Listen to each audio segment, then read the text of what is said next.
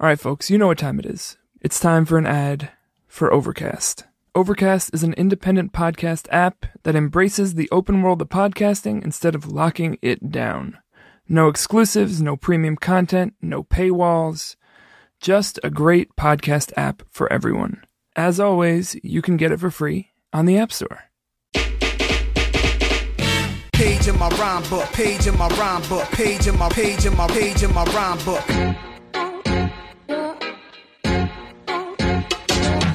Hey, Hi, what's up? This is AirGo. Mm-hmm. I'm Damon, I'm Kiss. and we are here back doing what we do, showcasing the voices and particularly here the writers that are reshaping our culture of our city and world for the more equitable. And we are back in our notebook suite.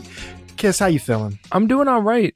It's been a uh, an interesting start to the year. This is the first episode we actually recorded uh, this year, and I'm excited to get to share with y'all. Yeah, so we're gonna even peek behind the curtain a little bit of how this was produced. Uh, so we are in the middle of starting off this conversation, um, and very on brand. Our guest had an important and and when we got back fruitful call with a publisher, and when we rescheduled our time, we rescheduled it for the exact time that Trump's base had scheduled their uprising or their little insurrection. We had a scheduling conflict. Yeah, and so we felt it was a little heavy uh, to try to be talking through as that was happening in real time. So we we took a little break, took a little breath uh, in between the conversation, and came back a few days later and finished it off. Uh, and it was a privilege and, and a, a beautiful. Uh, reconnection with friend and loved one of the show and of the work, Jamilah Lemieux. Jamilah Lemieux is a writer, cultural critic, editor, and movement worker. She's been a steadfast and vibrant voice uh, on Twitter and in the pages of publications and magazines over the last almost a decade now, building a public intellectualism around Black liberation and the lens of Black feminism in relation to pop culture and our larger communities. Before we hop into it, as is the case with all the episodes in this suite, we wanted to share a writing prompt that Jamilah had given us. So the prompt for this one is super simple. Jamilah said, do a, a free write, view the blank page as if it is your enemy and fill it with whatever comes. So kind of similar to how you sometimes hear people talk about morning pages, but it's this idea of just whatever the words are that come to you, fill that page. And if you do it a few times and it becomes part of your practice, it might not all be things that you carry with you, but there will be some gems in there. So that's your exercise. Take a blank page, fill it up. So happy writing. And now let's get to our conversation as part of our notebook suite with Jamilah Lemieux. Yeah. We are back at it in the notebook suite. Uh, we have amazing writer, journalist, media maker, uh, superstar mommy as well. Uh, the one and only Jamilah Lemieux is with us. Brr, brr, brr, brr. Thank you for having me. Thank you so much. Thank you so much. So I, I, I don't want to rush past our tradition. We always ask this two part question, uh, and it's around time. And so, in this time, define time however you will, this hour, this day, this season, this lifetime. In this time, how is the world treating you, and how are you treating the world? So I have to say, the world is treating me very well right now. And I actually had a conversation with a friend uh, a little earlier about this very thing, and it's it's difficult to say that, right? Like he was like, "Yo, I had a good 2020, oh, you know, for the most part. I will say overwhelmingly, the world is treating me well. Uh, and I think that is because I am, you know, I always rolled my eyes at, at people that were too love and light. And I don't think love and light applies for all situations. You know, like being a love and light person does not mean that you are shining love and light on everybody. I, I don't believe in loving enemies. You know, I understand that that's somebody else's, you know, ministry. Like it's just not for me. but I am operating from a place of abundance, you know, in, in the literal sense, right? Not just in the idea of, of having some abundance of money, but of having all of the things that I need and, much of what I want of, of being fulfilled by experiences, of having meaningful connections with people, talking to my ancestors, you know, just being really intentional in in a lot of the ways that I move in the world and working on being more intentional in some of the other ways that, that I move in the world. Um, but I think that taking that step is, is why the world is treating me well. Um, and I feel that I am, you know, working to treat the world well. Uh, I've gotten good at knowing when I kind of need to be on my hermit shit. Mm. And I refocused and, and thought about like what I want to be in the world and what I want to do for the world. So I feel like I'm treating the world well. So we have a specific question to kind of ground us in, in these conversations in this this notebook suite that we're in. It's to ground us in talking about writing, uh, because writing is a, a, unique craft. Because unlike painting or, or even you know being a filmmaker, right? It's something that we all, not all, but many of us do in some type of way. Uh, but not all of us consider ourselves or move through the world as a writer. And so, what we've been asking folks is your relationship between writing and when you saw yourself as a writer. Was there a moment? Was there a process? Was there a period in your life where you started to identify with this craft and with this practice as a part of who you are and how you show up to the world? It took me a while. You know, I always had a talent for writing, especially relative to other subjects like math and science, you know. And I, when I went to college, I majored in theater kind of unexpectedly. I had done for Colored Girls my senior year at Whitney Young. I the saw bug that. bit me hard. You did? I oh my there. god! Yeah. Wow! Wow! You are a baby! Yeah. Wow! Damon, do you have yes. a do you have a review of the production? oh, it was phenomenal, man! Whitney Young Theater was the shit. I was, was actually really good. when I was like in fourth grade. I was in one of the. Oh, wow. We'll talk about this a little bit later, but I was in one of the Aww. AAC plays. I don't know if you remember. Were you? Were you in it? Oh my god! A Sound of Our oh. Own. Do you remember that? That, you, that was after me. That was after you. okay, that was after me. Okay. Yeah. yeah, yeah, yeah oh, okay. That's but, so dope. But shout out, shout out to that production. Y'all yes. used the stage well, from what I remember. Thank you. the first time I engaged for Colored Girls, I was in fifth grade in oratory contest. I didn't do very well. Everybody else did. Like I have a dream you know, maybe an ain't I a woman. And I'm like, half notes scattered, no tune, you know, like I didn't even understand all the words myself then. I was in fifth grade, but I was just, I've been drawn to that text many times in my life. I've been drawn to it again recently. But I, I got to school and I was like, okay, I'm going to be a theater major and, I, and, and acting, I, not playwriting, but acting. And my best friend who was like, you've always been a writer. Like, why are you running from this? And I was just like, you don't tell me what I'm, uh. and like, you know, I wrote a few articles for the paper and, you know, I, I wrote for class, but it just wasn't a thing I went to do until my senior year, uh, 2000, who was a long time ago, 2005. Um, blogging was still very new. And I had these thoughts and feelings, and I wanted to, you know, write them down and share them with people.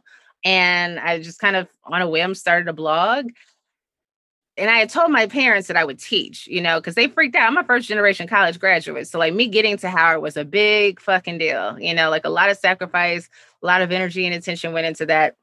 And then I show up and they're like, and you gonna go and declare something where you might never be able to pay a bill again in your life, you know? So we kind of had an unofficial agreement that I was not going to be a starving artist and I was going to you know, that I'd be able to take care of myself and have some good health insurance. And so I, I worked in and around education a little bit, even before I graduated school. Um, and I had gotten it like I failed a class second semester senior year. I had gotten hired to teach language arts full time, Howard University Middle School of Mathematics and Science. Failed a class. They allowed me to teach, you know, they were like, it's fine. What the principal did not know was that because of the No Child Left Behind legislation that uh, President George W. Bush was responsible for, to have these really awful rules for public education. One of them, and I'm not saying that this is an awful one, but a teacher who was not accredited, the students' parents had to be notified. And so the principal, now three months into the school year, I think it just kind of worked out. Like he chose to spare himself the embarrassment and just, you know, give me a little severance package and let me go. And Damn. so during that period of time, I started the blog, you know, the beginning of my real senior year. It was around Hurricane Katrina. So I had mm. some thoughts about that. And I had some kind of funny stuff that had happened, you know, that I'd written. So I was kind of doing humorous stuff. I was just writing. And now I have no job. And so I just started blogging. And some days I would do two or three posts. I just got really into it. And I was like, okay, I'm going to be a writer. And I'd already decided I wanted to move to New York after graduation with no, like, you know, I decided that when I was 12, I was moving to Brooklyn. like, I didn't, I never visited. I didn't visit till I was like 21. You know, I just knew that New York was where I was going to be. I was like, okay, I'm going to go to New York and be a writer. And it wasn't until, you know, I, I, I didn't really start allowing myself to identify as a writer until I had an audience. Mm. And it shouldn't be that way. Like, because I've done tons of writing in the last couple years that I've not shared with people. Like, I haven't been publishing as much, and I've been intentional about that. And I'm like, I'm still a writer. Like, writers write. Like, that's what makes you a writer. Right. It's not that people have consumed it. But I think it was that moment where it's like I've always been a writer. I just was the one in denial. Mm. Jumping ahead to to that recent process of writing more uh, things that people don't see, what kind of initiated that shift for you of, of pulling some of the words inward and not letting them be as, as visible? So to give you the 60 second breakdown of my career from that blog, I, I, I, I know I can do this. I can do this. From that blog led to a career in media quite accidentally, which led to being a senior editor at Ebony Magazine. You know, I worked there for five years and, and was there during the beginning of the current racial justice movement. And so just a very exciting and you know, energizing and and deeply emotional and stressful time to be working in media, particularly black, you know, being a black person in media and being a black person in black media, which had very limited resources. So there were many days and nights that I was one person in Ferguson by herself who did not have a driver's license or camera crew or really or not enough money in the bank if something that really went down and I needed some help. You know, I was just out there with a my phone. you know, I'm not a reporter, you know, so it's like I don't know how the fuck, you know, it just it just kind of happened. But like I'm trying to do something. In a way, I was always more of a citizen journalist than I was, but I had a mainstream, you know, granted a struggling black mainstream brand, an independent one,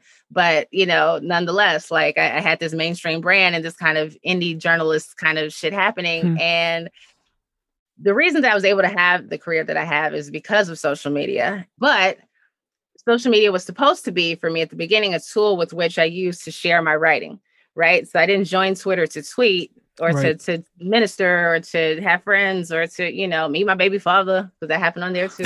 um, but so shout out to Twitter, got me a baby, you know. But like Somebody somebody But- did join Twitter for that reason.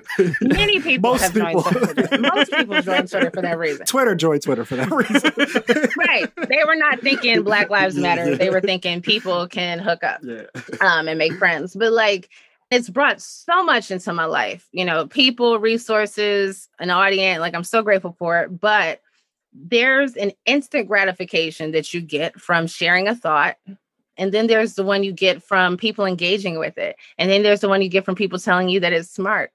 Right. And then there's also the the feeling that you get from people telling you that it's that's not smart, that's not good, and that you're not smart, you're not good for having these ideas. Right. And so on one hand, having people gas me up and, and like my ideas on Twitter made the labor of sitting down and writing an article a lot harder to get to because I can get that feeling right then and there. I have at this point, I have a job, you know, like, and so a lot of the things that should have been and could have been articles, poems, play, you know, just like writing, um, substantive writing. And I'm, that's not to say like, look, the, the stuff that we, the collective we have done on social media in the past decade has changed the world and, and in many ways for the better. And, and so it's important that we're like you can't just hide your your feminist shit in a book because not everybody's going to pick up a book. You know, like you got to find other ways to get this message out there. But if you're sitting around arguing with a bunch of people who do read books, maybe go write them a book, right? or, or if you, or, or if you, maybe, you know, and like, um, I've been trying to write a book and sell a write and sell, sell a book, to write, finish a book proposal Mhm. um, my daughter, I have a seven year old. I've been trying to do this her entire life, essentially, you know. And, and when I say trying, there were definitely years where there was no real effort. And then there was time where there was effort. After I was an editor, I was an executive for two years, you know. So now I've got this good paying job and I'm, you know, not being paid with, you know, I'd be, I was at another black company. It was, so it's like I, I wasn't balling out of control, but I was definitely more comfortable than I'd ever been. And I have a different workload you know, and I just speak in engagement. So I would get to write speeches, but like the sitting down and writing an article, it just wasn't happening. And the book wasn't happening. And I became deeply depressed. I'm now, you know, when I was an editor, if I wasn't writing as much as I wanted to, I was still shaping other people's work. right. Still you know, engaging with it in that way. still yeah. engaging with it on the executive level it's a bit different and there was a lot more time spent talking about ads and metrics and things and when i that's not who i am i didn't know that i could step out into the world and freelance and and make the same amount of money that i would make working for somebody else that i could that there was a way where i could breathe Right. right? And that i could also write and create. So success was taking away writing from me. So it's like so i'm successful at being a black middle class person? Like that was never my goal. Yeah. you know what i mean? So i feel like I'm, I'm i'm touching people less. I'm not you know putting out this stuff i want to in the world. And the only way i know how to do it easily is social media. But i mean what the fuck? Like there, there that can only go but so far. And so um, I had an opportunity to leave that job, my last job in 2018. Uh, I took it and ran. So even then, I thought, okay, I'm going to start a newsletter and I'm going to just publish and publish. And like, I had to reset. I was deeply depressed, Hmm. you know, I don't think I realized how depressed. I think, oh, wager, Damon, I wonder about this for you. Being Black is traumatic, being a marginalized person is traumatic you know, most of us, even if you're relatively privileged, I'm privileged in a lot of ways. I have a lot of unique, weird privileges, right? Like I've never had a ton of money. I'm not from no money, but like I, I've had some fortunate circumstances in terms of luck that have allowed me to be comfortable in ways and in spaces that maybe other people might not have been. But even with as much reading as I know, nothing like people were shocked by Ferguson. I was. I'm from Chicago. I'm Yeah. Midwestern suburbs. Are I, I know what a Midwestern suburb Yeah. is. You know what I mean? Like I know how those cops are. I know you know how the people are struggling. I know how the relationship is with the people at the at the Aki store. Like I get all that. Like none of that was new. It was new. A lot of people that was a whole like, wow, we thought this was the South. And just even how broken our relationship to the South is, right? That we were like, this ain't the South. This not supposed to happen. Like, oh, this is supposed to happen in the South. You know, like yeah, an hour, But, an um, hour and a half from there Yeah. in Right. the expectation. right. Yeah. right you know and so it, i just think the constant you know social media having a lot to do with this we're not meant to engage with the most traumatic parts of our experience on a 24 hour endless feedback loop and so even as somebody who i don't watch the video i almost never watch the shooting videos you know i, I watched a few early on and i was like oh no there are Yeah. people who perhaps do need to be you know subjected to this horror Informed. Yeah. Right. informed, you know, and those are the people that are the least likely to click on it. You know what I Right. mean? And, and and and I don't have to click on it. It's there. It- it's the image of Eric Garner. I've sat with Eric Garner's mother and you know Mohamed Bah's mother and held them while they cried. You know, and and and because I was trying to you know doing a video with it and just like you feel powerless, right? A lot of this is just regurgitation in media, uh, in journalism. A lot of it is just simply just this happened and just kind of sitting in it. And I sat in it for a long time. And in between that and just kind of, I think, the trolling and harassment that comes with being just even a smeech visible, you know, on- as a woman on the internet, particularly a Black woman, particularly a Black feminist woman. Mhm. And that being a particularly kind of heartbreaking because I started, you know, it was like the calls coming from within the house. I was like, yo, it went from all of my trolls are white people to all of my trolls are black men or pretending to be, you know, and I'm just like, hey, you need to just go on and work on yourself for a minute. So that's what I've been doing. And so it took me a while to start writing. Even after that, I thought immediately, like, okay, well, now that's been lifted. I'm just going to be, but I just, I had to clear space. I had to, you know, I moved to LA and then I moved to a different part of LA a year later. You know, I wasn't at peace where I was and my, my space wasn't good. I had to just create the circumstances to write again. And I was very bitter about this. Hmm. It's hard. It's hard to create space to write. Period. Everything about capitalism, everything about the world is just, you know, there's tons of inspiration, but there's not always a lot of quiet. You know, and I don't literally mean, you know, silence, but no, like, but there's a difference not- between silence and quiet. Those are definitely two Yes. different The things. sovereignty of quiet. Art. Yeah. yes Yeah. yes and just having that sort of space and you know like i can find quiet in a lot you know new york i lived in new york for 13 years like I, I and i miss it terribly part of the reason that i was in inglewood when i first got here part of the reason that was a rough fit was because inglewood is very suburban Yeah. in my mind you know girl rap music inglewood Yeah. up's no good Dr. Dre. yes, yeah. So I'm like, you know, I'm thinking of black community, and I usually think of black communities as hustling, but you know, noise and people, and like it's a quiet little suburb. And I'm just like, oh no, this is this is not sparking anything in me, you know, like This is Flossmoor. yes, exactly. So Yeah. most people struggle with quiet and, and creating a space to write and you know and getting through your own mental blocks or depression or work or any number of things. But when you add to like, you know, I'm a single parent. Since we moved to California, we divide my daughter's time 50-50. So I'm a pri- I'm extremely privileged as far as single parenthood goes.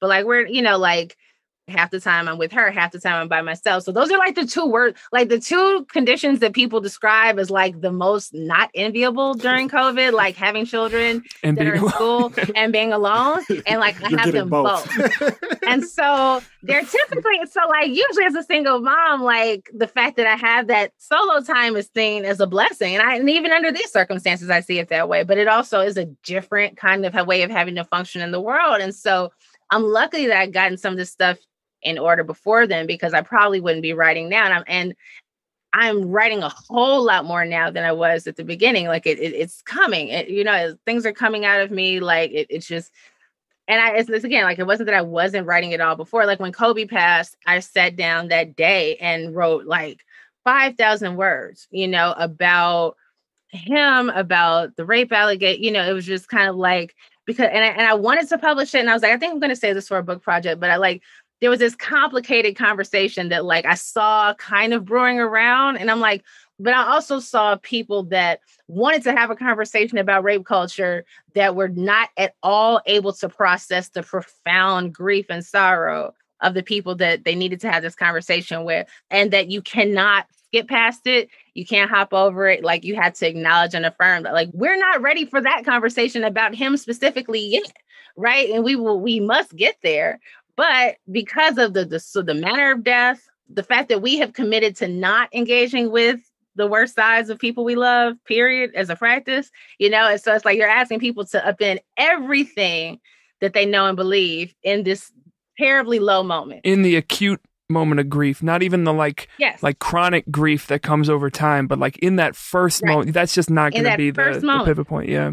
It's just not. And it's like, and it, it's a constant, you know, I, I know that those of you all who are organizers and, and activists, and I don't think of myself, I always say I'm a writer, you know, like people call me an activist. Sometimes I'll allow for it, but I'm like, I'm a writer. But folks that are reckoning with these ideas, it's like, I want you to hear this message. So is the goal for me to say it or is the goal for it to be heard? That's a really important distinction that I think gets really lost. And it's different from thinking about audience, right? Because so often when it comes to writers, that's what gets kind of forefronted is like, well, who are you writing this for? Who do you hope reads it? But it's that's not even necessarily who do you hope is hearing it or how do you want them to hear it.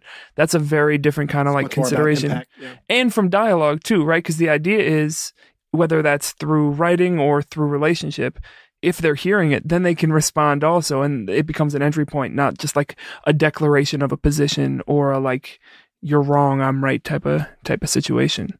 Absolutely. So you said more and more is coming out. It feels like something's opening up now.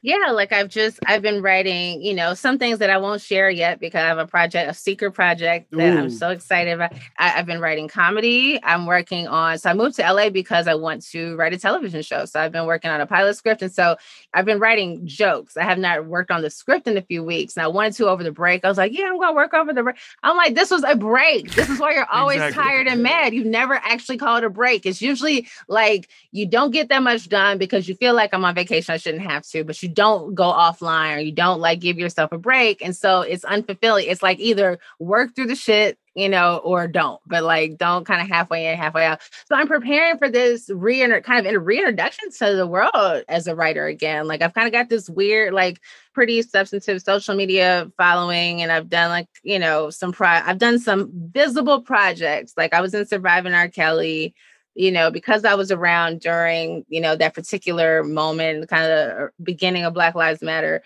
There's a good number of people who are like, I don't know, like, I know her, she does something, you know what I mean? Like, they might know that I'm a writer, you know, or they're like, oh, she's a cultural critic, you know, like talking head person. But like, it went from one day, I was like, I'm a writer who gets to do talking head stuff. And then I became a talking head who occasionally writes. And I'm like, Hmm. that was never what it was supposed to be.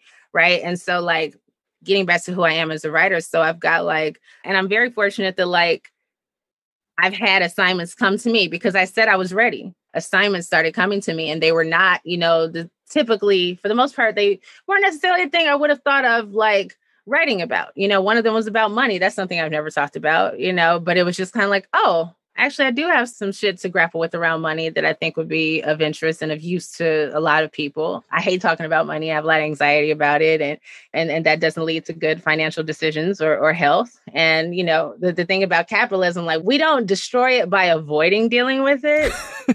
you know, I see folks like tearing down on some, you know, newly wealthy, quote unquote, and not by, by wealthy, it's usually like some newly upper middle class, you know, black success story, or just a young, you know, just somebody who's visible and young and, you know, like attacking them for being, oh, well, capitalists, they're selling this, they're selling that. I'm like, bro, everybody has to, like, you don't get to opt out of capitalism. It's going to happen to you one way or another. You know what I mean? It's about what are you doing? Are you being greedy? Are you being wasteful? Are you redistributing? You know, when you have more than you need, are you invested in redistribution? Which is something I think about a lot. Which obviously I, have, I do have this belief in my head that I'm gonna have a lot of money someday. But I'm just kind of like, I want to develop a plan where people who have a lot of like, there's this, you know, like what's a percentage that we could get folks that earn over a certain amount of money to redistribute, right? Mm-hmm. Like most people are not going to give away everything, but what's the livable number? Like, well, how do we start talking about redistributing resources and you know what I mean? So it's kind of like, I don't know, that's kind of a tangent, but like, anyway. We're fans of a tangent here. This is a tangent safe space. Yeah. tangent safe space. You know, but but that's been something that's been on my mind a bit. And like I thought about that, and then I kind of got this opportunity to write about money, you know. It was, so it's just like that's I think that's coming to me because I told the world that I was ready for it. And um in this moment, um, I, I feel very much like I'm having a good warm up. I have I feel like I'm having a very good warm up. All right, everybody. So we're back. We're gonna let y'all in a little bit behind the the Zoom curtain of the recorded of this phenomenal conversation we're having here with Jamilah. Um, so, in a very meta sense, right, we're talking about the life of writing and, and maneuvering, and you were in the midst of like giving us a very extended look at like your very dynamic work life and career as a writer. And in the midst of our conversation, you had to have a conversation with it with a publisher. So we put a pause and then when we planned to reschedule was during the time of the 2020 insurrection for folks who listen to this. 2021. 2021. Look at me tweaking. The January 6, 2021 insurrection on the Capitol happened during our time where we were going to reschedule. So we have taken a few days. We have caught our breath and we are reconvening in this conversation with Jamilah. So glad to have you back. And I, I want to come back to that conversation and like the choice of like how maneuvering publishing and editing works. But I want to take us back to where we were when we left off. I actually have a little bit of notes of what I heard you saying, fortunately. I love and, how happy you were about the fact you had notes too. Oh, uh, yeah, because like I very rarely I very rarely have notes. I am I'm a mental note taker for sure. I am so, so I have my little I'm so proud when I have points. a note written down. You know? and it'll be like one word. Like if I show my note to somebody, like, or you can't read it. It's just look like, at my little list of notes. This is it's more doodle. Yes. Uh, but I'm very excited to have these notes to reground in what I was hearing, and then get to something that's really important for me. So. Uh, one of the things you were talking about as a writer was, you know, defining your relationship to audience, and I think that also connected to the tension with like writing on social media platforms and how you as a kind of like pseudo journalist, writer, publisher, found yourself in this really dynamic, world changing social media moment that then like shaped a few years of your life. And, and, something else that you mentioned a few times, very honestly and vulnerably, was the connection between your writing work and mental health and depression. And I, you know, I think all of these things are overlapping. And then a theme that has been going through this writer's threads as we have fortunately been talking to black women and, and women of color um, is the way in which like writing against patriarchy creates this battlefield that you have to traverse not only as a woman but as a writer and thinker and practitioner in space and in community. Um, so that's something we would definitely love to get back to but where i'm at now one of the things that you said that was really important that i just alluded to was your relationship to this movement that has emerged and reemerged and now we're going on our seventh year. It's 2021. Ferguson was 2014. Trayvon was 2012. Uh, and you talked about your kind of fluid relationship to movement as a writer, not really an organizer, not really a journalist, but a, a, a black woman that's been holding it down. Um, and so this is where I want to start. I want to start. Usually we gas people up here, but I actually want to go a little bit deeper than the gas. I want to go to to a place of gratitude and thank you because your work, your being present, um, and and your connection changed my life, changed I think a lot of folks in my community's life, and you were a part of the beginning of what became the Let Us Breathe Collective. So you talked about being on the ground when shit was like just popping off and institutional media was creating this real vacuum of accurate reporting of what was happening on the ground. And you were one of the first people to touch down in Ferguson, in Ferguson, Missouri in 2014 after the, the murder of Mike Brown by Darren Wilson and the uprising of, of the St. Louis community and the Ferguson community. And so my sister and other folks in my, uh, my community and artistic community were outraged, want to participate.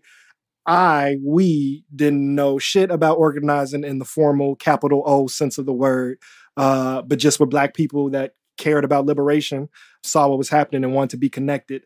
And so had to access my sister, who was a freshman when you were a senior at Whitney Young, I believe, uh, was able to reach out to you because you were doing work and you were amplifying what was happening um, and ask what is needed. And you were able to reply, everyone needs gas masks, water bottles, and first aid supplies. And from that, we launched the Let Us Breathe initiative, which was a crowdsourced fundraiser to bring down gas masks. We got way more than we expected. And from that, began making weekly trips to Ferguson and formed the Let Us Breathe Collective in many ways alongside Lost Voices um, down in Ferguson. Uh, and like, you know, seven years later, I'm doing this show with defunding the police. The Let Us Breathe Collective is, has a has a four thousand square foot facility, um, and you were one of the five to seven people that you know made that first step of making it happen. Anytime I tell the story of Chicago movement or Let Us Breathe, I don't be trying to name drop. So sometimes I say your name, sometimes I don't. But I say a, a, friend or a trusted journalist was there and was able to give us this report back, then then mobilized us. Um, so thank you. I'm emotional right now. Thank you so much.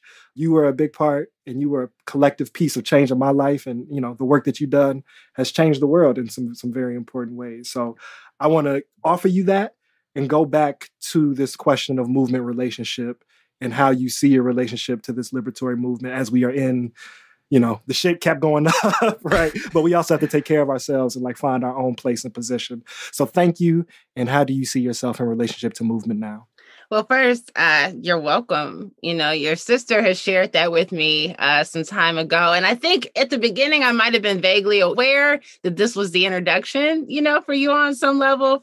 You all just took a little bit of like intel for me and ran with this so quickly. I forget that you all were not organizers for years and that you all had not been doing this for a really long time. You know, I just um, and again, we've we've all read about the, the civil rights movement, the Black Power movement, even abolitionist movement, just how many, you know, the, the first abolitionist movement and how young the people who have guided this work have been, right? And yet in real time, you know, you're still, there was still, I think, this kind of element of surprise and kind of awe that, like, hey, these are 17, 18, you know, 22, 25 year olds that are uh, changing the world right before our eyes. And I think that, you know, I was very, fortunate to be one of the people to help, you know, and there were people I think on all sides of media from, you know, I look at someone like Wesley Lowery, who was a Washington Post reporter, how fraught those relationships can be, right? With people who represent, you know, big journalism institutions and mainstream newspapers. You know, I, I, think about him and Ryan Reilly from the Huffington Post being arrested in that McDonald's. Wesley, arguably, you know, has encountered these things before, being a, a black kid from a, a midwestern suburb. But like, you know, a whole lot of members in the media acted as if until that point you know, what a police information officer offered to them was the law, right? This is the official accounting of events. This is what happened. And whether that was right or wrong, we're still going to decide, you know, or we're going to put it to our audience to decide that based on this official accounting of events there was a, a, relearning for a lot of media people that wasn't a relearning for me you know the, the, as a black woman as somebody who is from the midwest and and understands that like you know people said this isn't the south you know and i'm like where do, everywhere is the south and the south is not shorthand for bad things happening to black people. Our experiences there are not unlike our experiences elsewhere arguably we, we have more autonomy and freedom and community right in, in many parts of the south than we do uh, in some of the other places where we are concentrated you know in terms of saying my role I, I, think that was around the time where i really started to understand that Toni Cade Bambara quote you know that the job of the writer is to make revolution irresistible you know and so i was always careful you know there have been times where people have referred to me as, as an activist or a leader in some way and i you know I can run from a compliment. I'm very good at it. You know, I do my best to dive like a lot of women do. Um, but I, I, I respectfully at times sometimes just kind of sit and kind of allow people to say that because I don't want to hurt their feelings. But I really do just feel honored that whether it was the work that I was able to do there, whether it was the writing that I've done about gender, you know, there's this group of writers that has come right behind me that may have in some way, you know, some of them uh, younger Black women writers in particular who were influenced by this group of Black women online or Black, you know, I, I'd say primarily Black women, but, you know, there were also uh, there have been non-black women of color. There have been, you know, black men. There have been, you know, black queer and non-binary folks that have taken this microphone that the internet gives us and used it to do uh, meaningful paradigm shifting work. And Can we do so, some some, yeah. some naming right there? Are there folks in your cohort or that you see as like part of your peer group that you would like to name? And then are there folks that are like continuing or expanding that legacy that you're seeing coming up behind you that you're really excited about? Yeah, like who's in your rookie class, you know? yeah. So it's interesting because my rookie class, um, we've taken a lot of different directions. You know, I would say it includes people like Demetria Lucas, who primarily has written about relationships, but has come to write and, and do a podcast about um, the lives and experiences of Black women. Uh, I think in a way that is in direct response to the conversation she's been having with her audience, you know, over the years, that it's not just a matter of, you know, I like this boy, does he like me? It's like, how do we navigate dating and patriarchy? Like, if we're talking about, you know, the dynamics between people across gender lines, we have to talk about why they are the way they are. We talk about racial uh, division, we have to talk about why it exists, right? It's not a matter of preference or happenstance. This is white supremacy, right? This is capitalism, like context. You know, I, I uh, Luvvie Ajayi is part of my rookie class, um, you know, and I see how she's used social media and, and her own writing in a really interesting way to push conversations forward. But in terms of the folks who why and, and, I adore and admire those girls, but um, Mychal Denzel Smith, Darnell Moore, Raquel Willis, um, Rembert Browne and uh, Jason Parham, and, and just you know, a lot of folks that were primarily culture writers, you know, who have used that kind of writing to tell stories that are um, essential and urgent. You know, Eve Ewing is a few years younger than me um, and, and grew up on a different side of town. So we didn't come across each other in Chicago. Uh, we, we met, you know, many years later, but I was just shocked for somebody who I admire. She's in that Kendrick Lamar box, you know, where it's like, wait, you're mm-hmm. younger than me. You know, like yeah. how did how did you become my favorite rapper? That's not supposed to happen. Yeah, exactly. You know, and like he was the first one I was like, wait, they making people younger than me and they can rap. you know, like it starts one day you look up That's and perfect. the rappers and the ball players are younger than oh, you. Oh my god. So I just turned 29. It took until I was 27 until I accepted, all right, Daniel, you're not going to play in the major leagues. Like it's just not going to happen. Like the, it would have been a long shot for yeah. the last 27 years of my life, but at some point it's like you you've officially you're aged out of that possibility. Yeah. Listen, the fact that Beyonce is 3 years older than me makes me kind of feel like I still have time, you know, and mm-hmm. it's not that I'm going to mm-hmm. do any of the things that she's done, but I'm like, hey, Beyonce's super cool and she's older than me. There's still and she's always going to be three she's, years older. Like that. That's gonna you're gonna be able to hold on to that. Yes, yeah. forever. So there's fabulousness left, right? Yes. Like it, it, it, she's yes. always a barometer of how much fabulous we can be. Yes, there's fabulousness left. Um, but that you know, I was really surprised and honored that she, you know, told me directly once you know that you are part of the reason that you know the work that i do. And and you know and and that a whole lot of other black public intellectual thinker people who you might not think that have come across you uh, because there was a time where talking and this is specifically i think for things that i've written about and talked about publicly around gender because that was not the conversation that you know a lot of folks were having for a very long time. And those of us who were you know all of a sudden one day had a microphone i was the annoying chick in the lunchroom at whitney young trying to get my friends to listen to me preaching about these things you know and now it's what everybody's talking about and so in terms of folks that have come, I, I know I'm forgetting Michael Arceneaux, uh, a really great group of, of writers and thinkers. Dani McClain, you know, some of whom are reporter. Uh, um, oh Lord, I'm blanking on her name. And, we Um, and we put you, we set you up to fail, having to list all shout out. Yeah, no, a great amount as well. and and we can put the caveat of if the name isn't named here, that doesn't mean that they don't count. You, you the pressure of having to name all the people.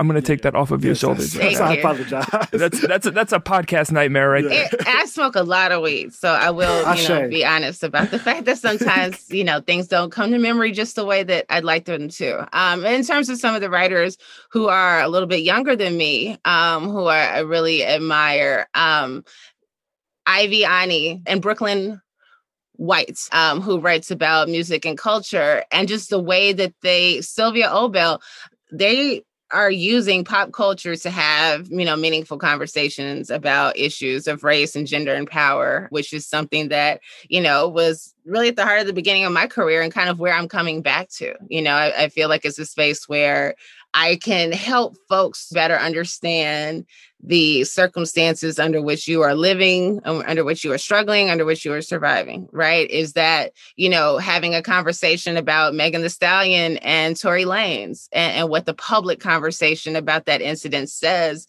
about the ways that black women are not protected right? What does it mean to say black women feel unprotected? And and what does it mean for men who have been persecuted and unjustly hunted down by police and prosecuted to be faced with women saying you know I don't feel safe. Right. And so if I don't have a place to turn to in my community to feel safe and I don't feel safe turning to law enforcement, right? Like just the battle that we watched Megan go through of like, I didn't call the police. I was not going to cooperate, like essentially having her arm twisted, right? To, to cooperate with law enforcement, feeling like she had no other options, perhaps, and, and that watching people debate whether it was okay or not for her to have been shot. Right. And so it, it is there's so much happening uh, around us even in a space like entertainment that is so much deeper and bigger than entertainment you know and i think that those of us who have you know the ability and the access to really talk to people about those things in a way that helps them better understand what does this mean for you know the issue that arose in my school when this guy and this girl you know had a challenge or when this woman was you know attacked and and people were saying certain things around us Yeah. So to that to that point, I mean, there's the significance of being someone who's like sharing a perspective in that conversation and then there's also the very important role of facilitating and shaping like what are the like containers for that conversation to actually happen in a productive way and i think to that rookie class conversation there were a lot of times that i can imagine where you were being asked to comment on something that was being framed in a way that we would like find unacceptable now. So I'm curious for you, how have you learned to push the framing of the conversation that you're being invited into and to make sure that you're not being forced to basically have the same conversation about gender-based violence uh, or gender dynamics and power uh, that actually challenges it rather than is just like uh, rehashing the same conversations over and over again. Can Can I add some context to that same question? It's the Mhm. exact same question. I just want to like add some sauce to it. Damon just thought he could do it better. That's no, fine. no, no, no, no, no, no, I'm kidding. No, you you said it more clearly than I would have. I'm going to come back to this this notion of like angry in the in the lunchroom. I think that's a really important metaphor. That's what, where I want to end it on. But one of the things that you're kind of naming humbly that I recognize is that you were a part of a cohort that really like established a voice that we kind of now know as like Black Twitter, uh, in a sense, or like a new discourse uh, around like intersectionality and and multiple layers of oppression in a popular sense, right? So I think the Megan and Tory conversation, which is something that like I think this space can very easily like smooth past and be more intellectual about, uh, is really important because in this question of like what has changed and what where are we provoking now, not only was there this like popularization of an intersectional analysis that now a lot of people are, are equipped with, um, there also was a popularization of an anti-feminist backlash that I think you know patriarchy has always existed, but I think as there was new naming, there now is a new level of like intellectual abuse, like gaslighting, and like reaffirming the position um, as these new critiques have happened in the, the Twitter sphere or wherever you're writing. So I want to go back to Daniel's question and like let's make ourselves the angry girl in the lunchroom again and like what At least annoying girl because you didn't say angry. you didn't say angry. Ooh, I apologize. That's Annoying girl in the lunchroom again. I want to use the exact words. And like, what is the push that the proverbial lunchroom needs now that these dynamics have shifted. Sorry, Kiss. I hope that. No, that was great. Yeah. I'll say, you know, I'm really, I'm pretty fortunate that in terms of kind of getting pushed into having to have the same conversations over and over again, either having to deal with intellectually dishonest attacks or just, you know, the very one-on-one stuff like, do I still have to explain this to you? Do we still have to grapple with this? Um, I think I'm in a position where, you know, not having a the, the only publication that I, I contribute to on a regular basis, uh, I, I write parenting stuff for them, right? So there's nobody that's saying you have to step in and talk about this. You know, you may be tired of this discourse. You may feel like we've beaten it to the ground, but like you know, you, you just have to do that. So I, I no longer have that pressure just by the virtue of me being able to be choosy about what I write about and, and making this decision to have been choosy, right? So there are things I've turned down that, you know, maybe paid a lot of money or, but we're not in alignment with what I want to do, what I feel like is the right thing for me to be doing, which is the, you know, what's the right way for me to contribute to what's going on. Um, and also just kind of being like, I can't do this with y'all again. You know, like I, I'm I'm not here right now. But I think that yes, that gaslighting, that like there's a podcaster I listen to. She has a show called um, A Little Bit of Juju, and she talks about uh, Black traditional spiritualities, and and she describes it as a feminist progression right that's happened in recent years. This shift toward better you know gender politics that's happening across communities and you know that has shifted activist circles right? Because you may have been doing environmental justice or racial justice but you weren't doing it from a lens that you know engaged gender or sexual orientation or class right? That we're thinking about things um, through this perspective of multiple locations for trauma, multiple locations for disenfranchisement, multiple locations for power, you know, and, and what do those things mean to us? So, like, with that, in the face of that progression, you know, there it's if you're in your late 20s, like you all at your age, I would imagine social media has been a factor for you all your entire lives. So it's not that you all, or you know, most of your, your certainly your whole adult life. So it's not that um, even if you weren't super into it, that you might have missed this entirely. But I think that for a lot of people, and, and certainly for folks that are a few years younger than you all, you inherited an internet these platforms that are in many ways different than they were when I met them because of this peer group that I belong to, right? So, like, I used to get dragged down by Black women in my peer group. You know, if we're talking about privilege, right? That was a big thing. I remember the black male privilege uh, checklist by Jewel, uh, I think Jewel Woods came out around 2010, 2011, or it had been, or maybe it had been out for a few years and it started circulating then. And like the conversations and the debates we were having then about that would be so different today. But there was just so much vitriol, and so much hatred, and so much resistance, and, and overwhelming love and support from Black women always my entire life. Whatever harm or you know not good vibes i've gotten from sisters have always been canceled or i won't say canceled out but you know balanced out by so much more in terms of positivity and affirmation but like it was not popular to be feminist is what i'm trying to say right and like there was there was perhaps a social toll um yeah. there were people who you know could get with the stuff I was saying about race, right? So I had this kind of complicated kind of dual audience thing happening, right? Where there'd be a lot of oftentimes men who, you know, all in, we're talking specifically in defense of a black man, because even for a feminist woman, so much of how, you know, for so many years, how it's socialized to think about racism and oppression was to censor the needs of, of black men and boys, you know, and or to always just understanding that whatever's going on with them, I have to be part of the response, right? I'm gonna have to name that, I have to call it out. And I still believe that that's my responsibility. That didn't change now that I recognize that there is a parallel need on behalf of Black women and girls and on behalf of uh, Black LGBTQ people, right? That there are all these needs that exist within our community and not just the one that we've known how to name and recognize the backlash to that has been, and I think we touched on it a little bit last time, so significant, and so severe that, you know, it, it's part of the reason that I've been quiet for a couple of years. It's part of the reason that I needed to kind of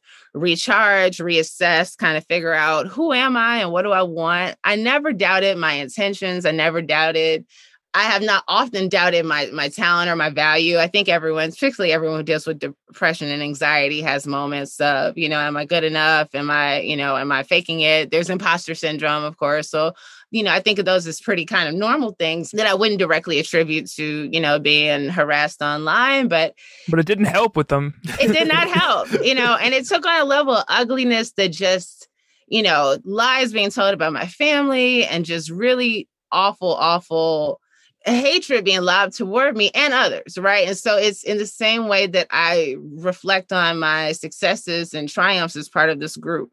That pushback is something that I feel is part of a group. So it's not just what happens to me. It, it's seeing it happen to other Black women, right? It's seeing it happen to other, you know, marginalized voices. It's, it's saying that every time a black woman reaches any sort of visibility she could be a cook right? She could sell shea butter or chef rather it, you know it doesn't necessarily mean that she's doing political work but the body is political right? That we're, we're inherently political. And so watching it go from everybody's rooting for you to we can't wait for you to mess up. You know, and the second you mess up, you're irredeemable. Whatever value you had before is so drastically uh, compromised by you falling short in some way, being imprecise with your words. The rules shift for Black women in real time. Like all of that, I think cumulatively, it, it, it takes a toll. But I, am very fortunate to have been in a position to have that reset and to just kind of say, like, where am I needed? You know, there are times where something would happen. It's like, girl, you know, uh, you know, a couple years ago, you would have written an essay. Where are you on this? They need you. And then it was like, no, I don't necessarily know that I'm needed. Am I essential? Who am I to say that my voice is essential? Right? There's so many voices, and then kind of working through like it's not about saying like I, I am the best, I'm the most important. It, it's I am capable of perhaps helping people to understand this. I've retreated into a place where I've figured out, or I'm constantly kind of figuring out like what writing looks like for me now and, and where am I needed and trying to live there as opposed to just being present to say that I'm working. Yeah.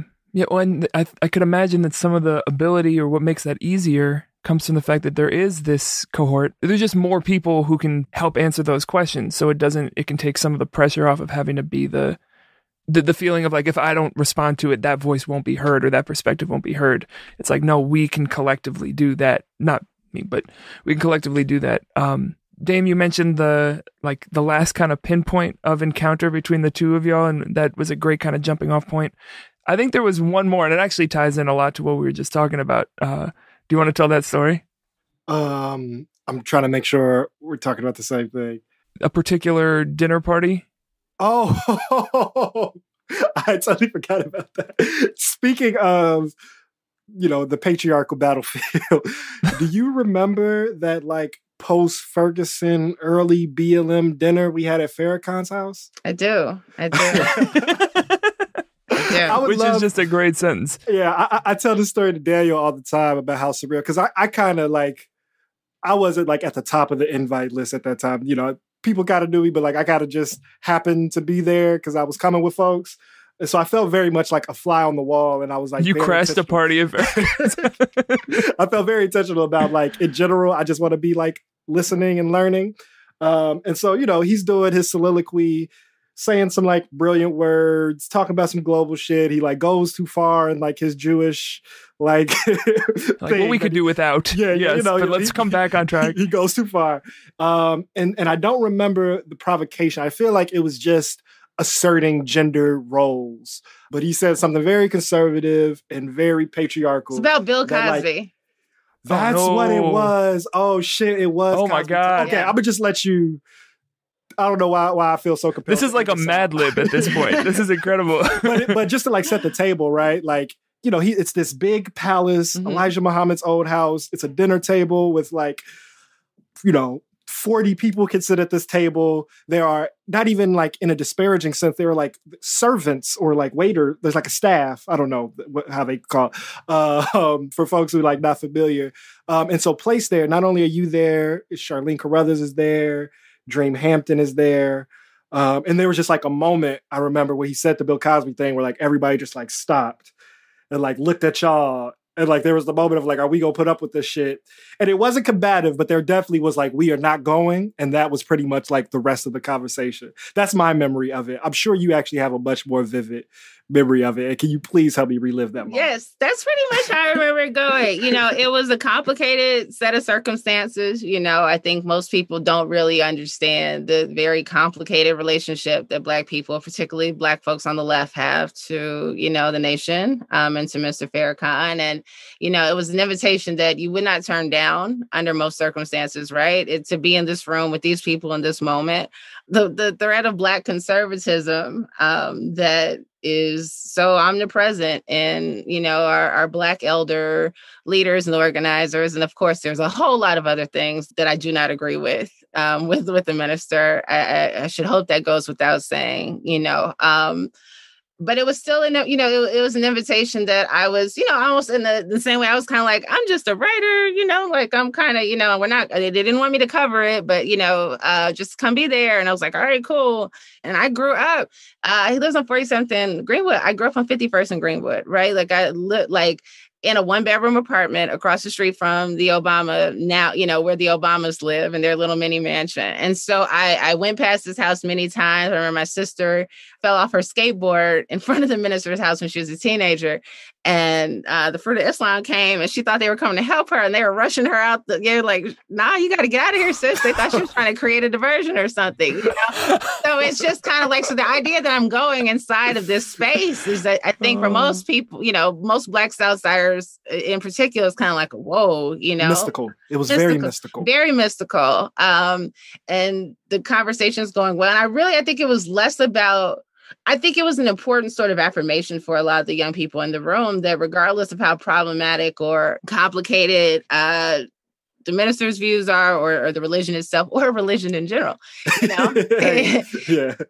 Yeah, if you if you think they're if you think they're got some issues, wait till you hear about everybody else yeah. too. Like it's like we're all kind of go one of the, every religion, you know. Um, that I think it was really something to see, you know, for me to see you all, right? To see that these are the organizers, these are the activists, like, and that they're getting this uh, at a time where civil rights groups were not being terribly accommodating and welcoming to uh, folks that are participating in the Ferguson uprising. That, you know, someone who represented uh, an institution like that was opening, at the very least, just opening his doors yeah, I forget that part of the context because this is maybe January of 2015. Mm-hmm. So we're like in like the first five to six months. And at that point, like both Jesse and Sharpton had had like moments of hostility. Absolutely. And so that I forget about that context of part of it was really the love of like, hey, these old heads by me, they are super whack. Like we can have whatever disagreements. Yeah. But like I'm opening up my my home and my table to you and I'm validating yes. what you are and what you're a part of that that I do want to make sure that that we document. It was important. Definitely. And then, you know, the Cosby comments and, and others, but those in particular kind of reminded us like, oh, this is why there's a call right. for new, you know, new thinking and new leadership. Here's here's where we are. And so I like, you know, I think the difference between being an, an old millennial versus, you know, a younger millennial like you all or a Gen Xer. Um, I at times like that deference. So when that comment happens, I it was very it got hot in there. I remember I had on a nice dress, you know, like I had on a dress and here because I'm like again, I'm this is trippy. So like I, I came, you know, pres- looking nice, and so I'm sweating because I have on a dress and probably some Spanx.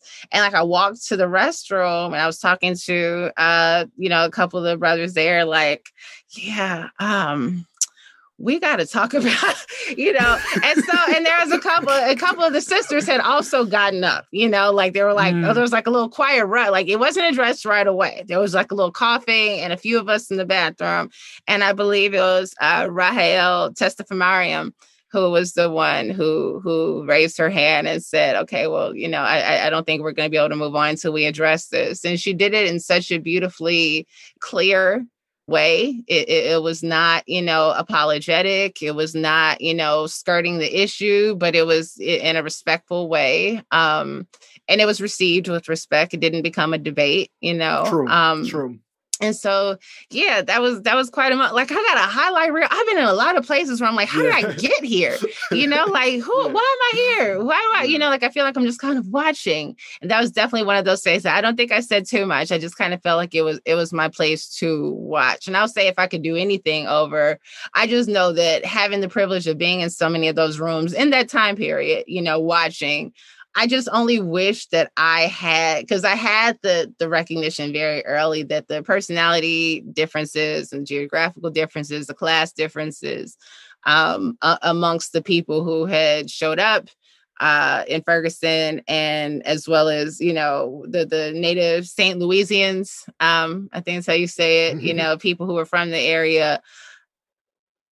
I think that had there been some more efforts around, you know, a retreat of some sort, a kind of like, let's sit down together. And I know those things did happen, but I feel like in the space that I had access to people, you know, I've heard the, the saying, you know, friend to all is a friend to none. But I really have, I try to be, you know, fam, right? I try to be fam, right? There's this yeah. book called uh, our, our, Kind of People, and it's about America's Black upper middle class. Basically, you can't you can't earn your way into this group, right? It doesn't matter what you've achieved. Like they might respect you, they might hang around with you, but like I'm not that kind of black person, but I've always wanted to be every kind of black person's black person. like I want everybody. I like for everybody should really everybody's part, you know, and like yeah. and have wanted to be that without concession, you know. So it's like so I'm not going to compromise my values. I'm not going to pander, but I'd like to think that at my core, what I want for us is good, and and it's in everyone's best interest. So you should like fuck with me off of that, you know. Like I'm a good. yeah, I'm that- a. I'm one of the good guys that resonates so hard. Like one, the like the appreciating that mobility and access to to be able to engage many different positions in the black community. And secondly, man, that that that friend of everybody quote that that kind of like shoots at my heart. I think I think where we we what we're both saying though is like I may not fuck with everybody, but I do want everybody to fuck with me. like I'm I don't want to be their friend, but I want the, no. They, they should show me love. Yeah, exactly. Yeah, you should you should like me. I might have a critique of you. You know, it depends on whether it's gonna be a loud one or just want to keep to myself. But like you sh- you should fuck with me. So so, so we've been talking about some of this positionality. You talked about uh, being 47th in Greenwood. You talked about what type of black person you ain't. We talked about generational things, and I got I got a shout out that I I really want to do. Um, shout out to Pops. Shout out to your dad. You know, me and your dad actually became like locker room buddies at LA Fitness. I just I did not know that. I just heard him talking. and I don't know how I was able to recognize him. And we'll we'll be able to like tell some of the backstory of like some of his claims to fame and his legacy. But he was just talking just like some old head, kind of like radical national, but just like also just like grown man talking. I'm like, are you Jamilah's dad? And he's like, oh, ah. wow, I'm so glad. Like, you know, that's a thing that he said like in the last 10 years he became Jamilah's dad is like the way people see him. Uh, so shout out to my homie, man. I don't know if he would recognize me, but the kid with the braids and the twist, we, we, we, hung out a couple times in the locker room. and and I respect him because he keeps protocol. He's like right in that generation. I feel like the, the generation above him may be a little too naked in the locker room. Yes. He's very, very, well covered. He respected the space, uh, but but he would also we would chop it up and he would give me some game. But but shout out to your dad. Um, who, among many other things, is one of the highlights of one of the best movies in the history of American culture. Uh, Spook Who Sat by the Door. Uh, yeah, I- am just shouting about how, how's your dad doing? My dad's doing well. Thank you for asking. You know, he's uh he's a cool dude. You know, he, he's he's a very cool dude. Like he's an interesting character. He's he's from high. He's a biracial. He might even be a, a cat. He might yeah, even be a my cool dad's cat. definitely a cool cat. you know, he's definitely a cool cat. Like he he was raised in Hyde Park. Um, he was. If you've ever seen the spook who sat by the door, um, which is a story about a man who uh uses the training that he gets as a kind of token uh, black CIA hire who is given a, a, position with no power whatsoever, but is still trained as a CIA operative, who then takes that training to uh, take a group of black street gang members and turn them into a highly organized um, militia, you know, liberation army that takes on the government in Chicago. And it it's based on the book by Sam Greenlee. And there's a character named Pretty Willie, who's this very light complexion dude who's got a, you know, cute little little crib that his, you know, parents pay for because he he, you know, because he's in college, which was not my dad's story. His parents, you know, his mother was not paying for anything and, and he didn't go to college. But uh, aside from that, he deeply, you know, related to his character being um, a biracial black man and, and somebody who was a member of the Black Panther Party, who was, you know, and has always been prepared to fight on behalf of our people, you know, just kind of how people looked at him and, and what it meant to be a, a, high yellow dude who could have used that to translate into a whole lot of other stuff. Like my dad talks about um, a woman in his neighborhood who tried to pay him to take her daughter to a cotillion, right, to a debutante ball, and he was like, "I wasn't well mannered. I wasn't, ha- you know, like I was just light skinned. Like there really was not much else to me that, you know, not that I wasn't a nice kid, but there was nothing, uh, you know, well mannered in the sense of like this was not somebody who was, you know, in spaces like that who would not trained to chaperone. No, he's not necessarily. He, he's yeah. not a beau. No, he's not a bow, right? He was not a bow. Um, you know, a good dancer, but not a bow. And so he um and, and so he read the book, he related to the character, had the opportunity to meet Mr. Greenlee. Um, like he was a but my dad was a busboy at a restaurant, I think in Hyde Park, that later became that bar Louie. I think that's where it happened. Um, and you know, he said, if you ever make a movie of this story, like I, I am pretty Willie, like this is me, you know. And some years later, it happened, and Mr. Greenlee, Whoa. you know, was Whoa. able to find him, you know, like it was a couple years later, and he basically, That's crazy. yeah, you know, and he wasn't a hard person to find, right? Like, you know, so He's a cool cat. We've Cool established cat, that. You know, but I mean, it's also he had a unique look, and it was kind of like, you know, the the yellow brother who works this, such, oh, it's brother Davey, you know, and so like my dad has a really interesting story. I'm kind of torn because they're probably like, I want to talk a little bit more. And, you know, and then I'm like, I don't want to open up all that stuff. I just say my dad's had a really interesting story in life. Um, and one of the unfortunate things that has happened as a result of the ways in which I've made my own life public is that my dad has been subject to some uh, I'm telling, Okay, I'm gonna say this, but like if I text y'all before you edit this and be like, don't use it, then Okay, okay, sure. thank you. But um, you know, some online conspiracy theories, you know, from a particular source who I won't name because I feel like he's like Beetlejuice. You say it, you know, three times he pops up, but like just saying really awful things about him to harm me you Mm. know? And so it's just the irony uh, and, and really this person having no and, and their school of thought having no beef with me or no reason to take issue with me other than the fact that i'm a black feminist.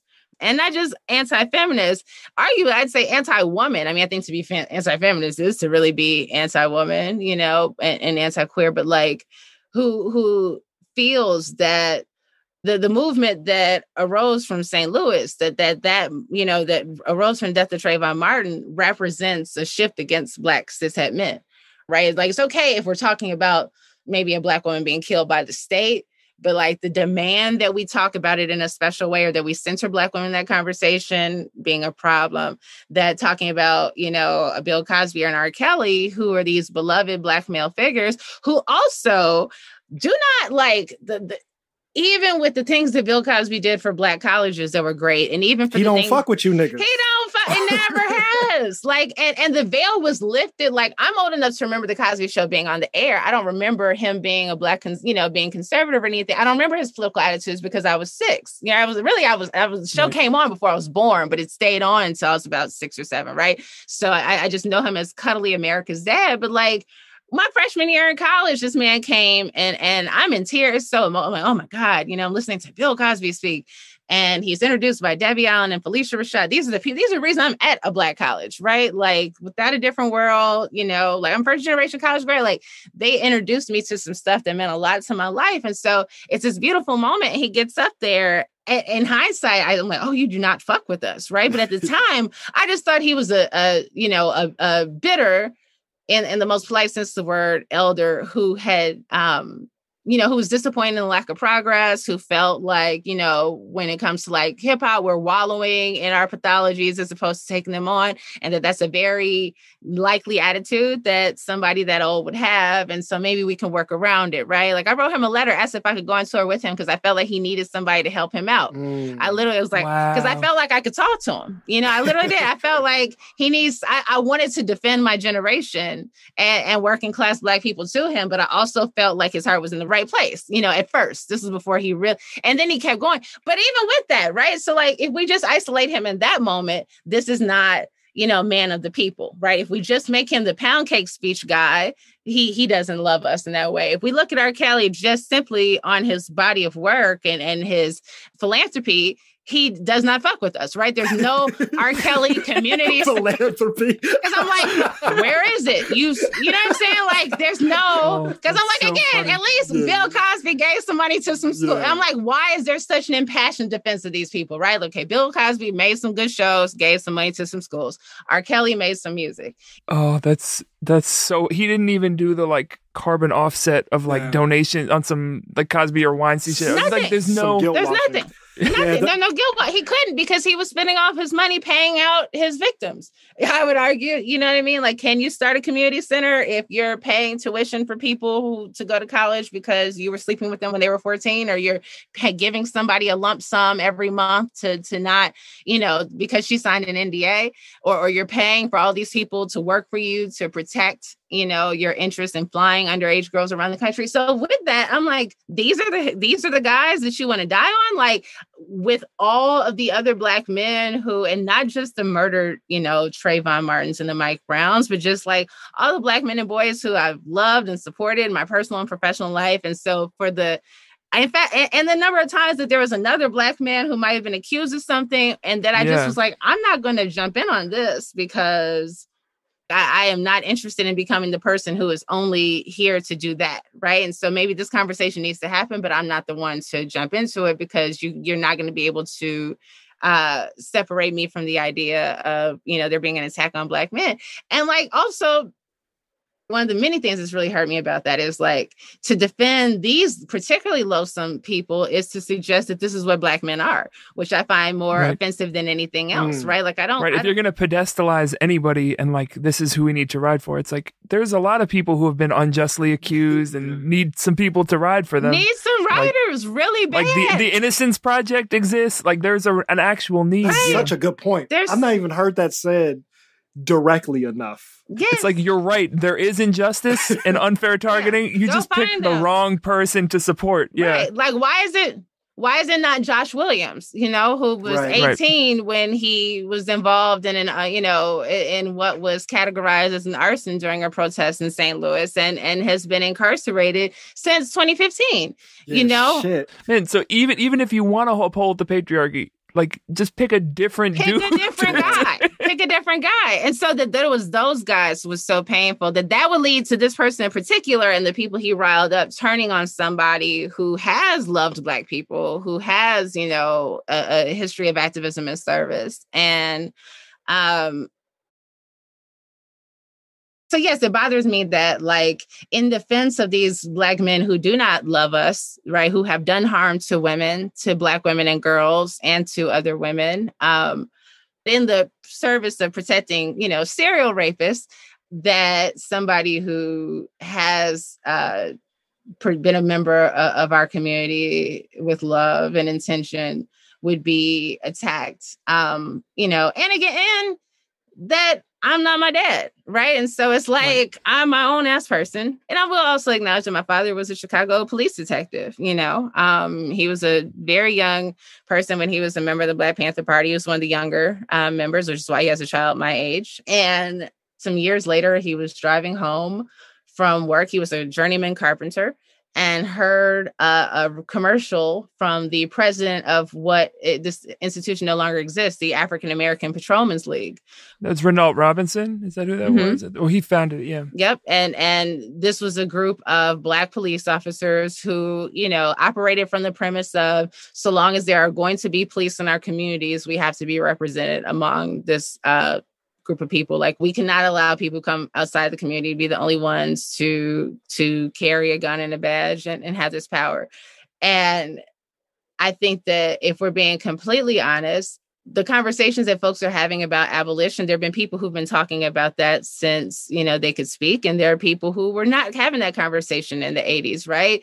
Reform and you know good cops and better rules and better law like that was the the brunt of the black community's uh, engagement with how to fix this problem of policing um, and so i say that not to excuse or defend the fact that my father was a detective and he was a homicide detective you know he was not somebody who made a point you know you know i see the way people in the community receive my dad I mean, as a kid, it was annoying. Like, you know, everywhere we go, brother David, brother David, you know, and sometimes they'd be like, who is that? Oh, that's, you know, somebody who he knew from them being arrested, right? And then they wanted to show him that they were doing well, you know, or somebody he knew from around the, the community from his work. And so policing is inherently bad, right? It is not something that can be reformed. That is something that I know and recognize now. I'm okay with people not knowing and recognizing that and, and being well intentioned 30 years ago there's a level of intellectual dishonesty that just shows up, you know, when we're trying to silence somebody. So this was never about, you know, him or anything that, you know, he could have done. It, it was always about how do we shut this black woman up? that was very painful for me and, and, and it caused pain and harm to, to someone I loved. You know, my dad called me one day, like, what the hell is going on on the, you know, what is this? Who are they? What, what are they saying? Where is this coming from?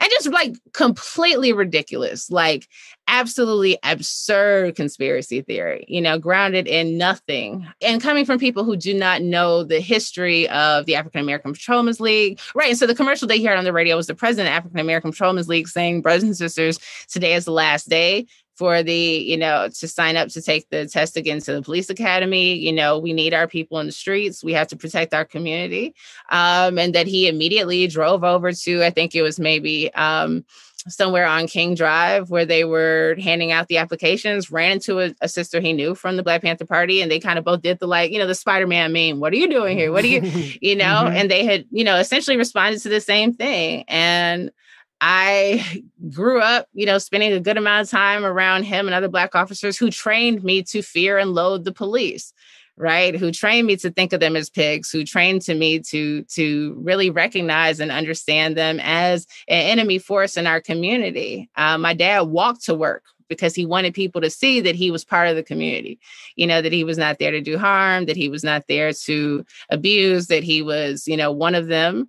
Um, that he wanted to help keep them safe. Now, I can think of a lot of better ways to keep Black people safe, but I also have the privilege of having this conversation in 2020 about policing in prison and what we understand now. So I don't feel shame or, or you know, that, that that's something that should be used in, in terms of engaging or interrogating me personally. You know, I, I, I won't defend him. I won't defend policing. I will say I understand and I respect the context in which he made that decision. And I don't think it's a decision that he would make if it were posed to him today.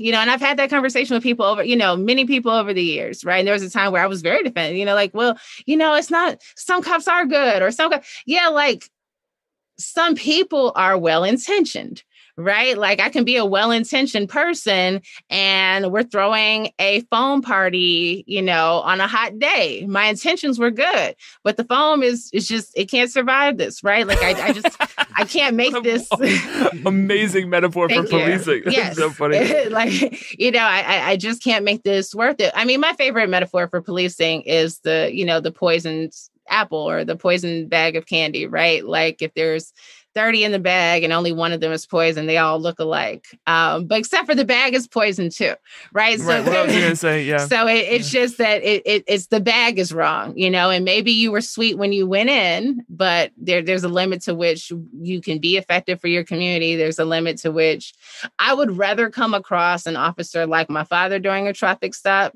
than I would, you know, a whole lot of other officers, but I would prefer not to come across police officers at all.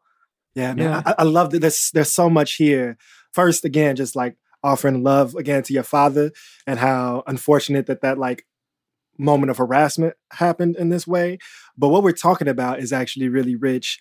Because one, I think also grounding historical context is really important. So one, that Black Patrolmen's League that I know actually did try to do some like really nuanced progressive work and mm-hmm. was silenced and pushed out and fought against the emergent police union and yep. CPD and had to pay the consequences. Yes, yeah. it's very similar. We actually, um, do you know Aislinn Pulley from BLM Chicago? I know the name. We don't know each other personally. Okay. Uh, but I- but I bring her up because because similarly in kind of the same post mid 20th century uh, of like black men in Vietnam, right, which is also a contradiction. But many of those soldiers did like progressive and radical like counter militaristic organizing within the space, and these are histories that really get erased. Uh, and then also to the historical context of time of you saying like you know 30 years ago this actually is a much more valid question that we now have answers to. Yes. because at that time one police departments were first much more visibly segregated right? Like it was actually an all white police force. So very similar to like obama running for president at the time was a progressive move even though he was like counter movement in so many ways. But now it, we can say literally we know that a black president in office is not inherently a progressive thing and it took experiencing that right? So similarly like knowing that like well to, to do communally grounded black people in police force actually won't counter the harm. Um and so yeah that's that's really interesting. I think about my own experience this past summer when, when shit got wild of you know experiencing abuse at an action and it was 90% black cops and it was 90% black men in the little locker room when they were talking you know harassing me and the, the the the nuance was they just beat our ass they just were what much more aggressive in fighting us as black officers than officers were in DC this past week, which is something I've been processing. But in talking to them, they were saying all these dumb conservative things, but they also were very sincere about they thought they were doing the right thing or they saw themselves in a certain way, uh, which I know a lot of people want to make more space for while we're still saying abolish the whole thing and like they, you know, a black slave catcher don't make slavery no better. But yeah, I, I really appreciate that. And then back to the to the notion of this even this conversation we're having came from a disingenuous patriarchal attack. Because one of the things that, that we just said that I've never thought about, like niggas will be more likely to tweet free R. Kelly than free Mumia, uh, which like really like I could laugh at, but it's actually like heartbreaking. Like even those same exact characters, like we could be making movement for Josh and Mumia or all political prisoners or false. Yeah, th- that was really deep. And I think to the point of, and I'll stop just trying to re, you know, just gather what you said of, um, I think R. Kelly even more than Bill Cosby is really eye opening to the the corrosion and the toxicity that black fem- feminism has like pushed us to address and put us in a better place. Because for my take as a Chicagoan and somebody who's like met R. Kelly, who knows entertainers, it feels like, in my understanding, as being kind of younger, he got heralded more after the abuse was named. I don't feel like in the 90s he was this like he's not Stevie Wonder, like musically, right? like he made some tunes and some melodies, and I'm saying he's not like a platinum songwriter, but then he got heralded or revered in this like untouchable space. And I don't think he had until it was, oh, we have to protect black men at the expense of black women, that this documented harm. Um, that for me, I mean, at, for folks who've listened to the show at the long time, like R. Kelly was a symbol. We used to play a game called Beef with the R&B Singer before like Dream and like, you know, things really like picked up to kind of amplify the fact that he was just out in the world um, and like to to use humor to like name patriarchy in, in the art. Um, but yeah, I never even thought about the fact that there is more support for actual abusers than there is for actually wrongfully punished people, um, and what that says about the backlash or the counteraction of patriarchy. That to come back to you, you and your family and your peers are taking the brunt of these like psychological intellectual attacks. Yeah, that was all that I heard, and that's really yeah, that's a lot. it's yeah if you think like look at the the insurrection last week right so a capitol police officer was beat to death right by people with blue lives matter by flags. people with blue lives matter flags right there's footage of a guy like ripping up basically you know they from some of the accounts these people when they encountered the cops they were like we're here fighting for you like they expected them to join along and when they they called them traitors. they called them traitors, right? And so it's the fact that this officer is dead at the hands of the people who told us that they have to defend policing no matter what, right? If it's George Floyd, if it's Mike Brown, you know, there's always a reason to let them do their job. That in this moment, as they attempted to do their job, not only were they pushed aside, not only were they not, you know, respected for that authority, that that blue line is supposed to be important, that one of them was killed, you know, and and that they and, and deliberately, right? This was not an accident, right? They they killed, they murdered this person, and it it was never about policing right? It was always about white supremacy. It was not And about an anti-blackness. It was not about their feeling of safety. And if they did say it was about feeling safe, what they meant was feeling safe from us, feeling safe from Mexicans, feeling safe from people who represent a diverse America. It was the same thing when you look at, yeah, like why isn't it free Mumia? Why are these people who have devoted a lot of time and energy into defending the likes of an R. Kelly or Bill Cosby or Tory Lanez, right? Like, why them? What have they done to earn? You know, they're not innocent and they're not, you know, they're not active. And even if you do put Bill Cosby in that kind of complicated space of you did a lot of work, and also Bill Cosby has confessed. So there's that, right? It's like I think that did quiet down a bit of the defensiveness, but there's always an but not not entirely not entirely right and there's always a there there's always uh, an opportunity for for folks to you know bring him up as some sort of symbol of something that should not have happened either because he was too old too good you know the accusers were too dicey whatever it is i don't take it personally even though it has hurt on a personal level. Nothing about this is about me. I mean white supremacy is not about me right? So i, I don't take it personally if i feel like i've been discriminated against or, or treated poorly because of my race. And so I don't take it personally when I'm having that experience um, as it relates to how I've talked about gender, you know, in public. But there is a sense of resentment and pain, you know, that just come. Like, whereas I don't, you know, certainly white supremacy has caused me pain and, and invites painful experiences to my life, even if it's just the times I've gone to the doctor and have, you know, in clear, concise language explained, you know, what's going on with me and have not gotten the appropriate amount of attention or interest from you know the doctor or the nurse right? We've been made to feel like whatever i'm dealing with is insignificant or it's just in my head and, and we know that to be a common experience amongst black people and uh, there's been a lot of talk about the uh, health gap as it relates to black folks because of the experiences of black women in maternal health you know? Um, i dabbled in doula work for a little bit. I'm going to get back to it. Uh, before that Oh, you were a, a doula dabbler. a doula dabbler yes. Um but uh you know what i mean for that reason because we have to keep black women alive. That hurts. We shouldn't have to do that. But when it comes to the intracommunal when it's when it's the gender stuff and when there's brothers involved or you know other sisters involved I have these expectations for people with whom I share community, right? And so that's Black people first and foremost. But even if it were a community that I created, right? If we're all saying that we're writers and we're in this space together, and now you're challenging the validity of me being a writer, right? If we're saying that we're all, you know, left, whatever it is, like when people who've taken the vow, you know, who say I'm a part of this, are not willing to recognize the fullness of your humanity because you're different than them, but we're connected by this thing. I, I think that there's a there's a certain kind of of sadness. I don't take it personally, but it hurts me that somebody would want to hurt me because I've stood up for Black women. Um, that that makes me sad.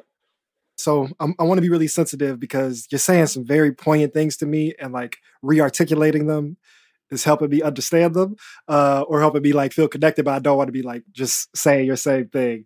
Um, No, I like But- being heard. yeah, it's actually okay. like a big thing for me. So Cool, cool, when cool. somebody restates what I said, I feel very good. it's, it's something really heartbreaking that is not new, but feels much more pronounced in the, in the connection you made. But I'm going to end it in an optimistic place. I think bringing up the the, insur- the insurrection and the Trump phenomenon in relation to what we're talking about, I think is really important. And again, I don't think this is new.